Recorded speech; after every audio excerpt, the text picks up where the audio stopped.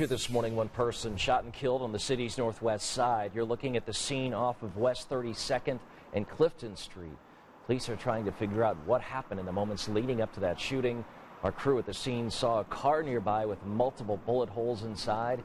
As soon as we learn more, we'll let you know.